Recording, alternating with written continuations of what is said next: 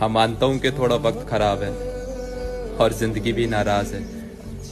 पर इतना भरोसा तो है मुझे मेरे महादेव पर कि वो हर एक चीज़ दे देंगे जो मेरी किस्मत में नहीं है।